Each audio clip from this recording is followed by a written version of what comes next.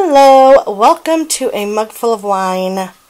I am going to make something in my Instant Pot. I thought I would invite you along. I'm making Instant Pot macaroni and cheese. It's my first time making this. I've made pasta before and it turned out really good. Um, so I thought I'd make this macaroni and cheese to go with our chicken sandwiches tonight. Super easy. It takes these ingredients a pound of pasta. I chose penne, uh, a little squirt of hot sauce, some ground mustard, butter, and four cups of water. I already put two cups in there. I'm going to add these two cups and the rest of the ingredients. I'm going to put the pasta um, on high for four minutes in the pressure cooker in the Instapot, and we will see what happens. So with the um, magic of video. I will be back in a few minutes to see what happens. Alright, so the noodles are done and I've added the cheese. I used Velveeta. The recipe calls for cheddar. I like the consistency of Velveeta much more.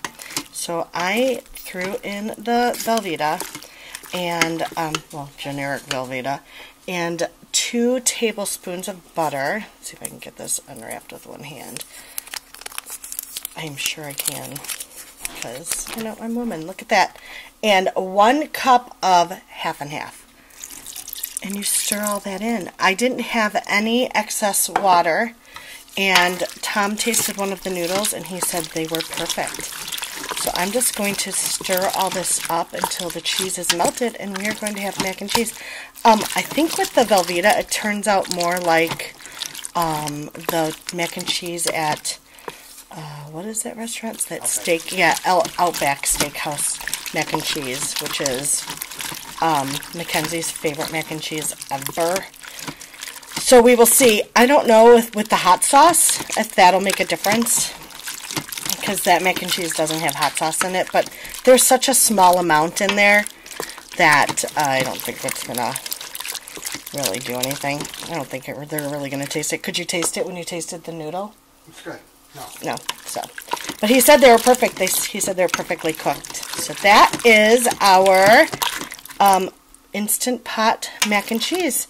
I will take a picture when all of the um, cheese is melted and I will add it to the end.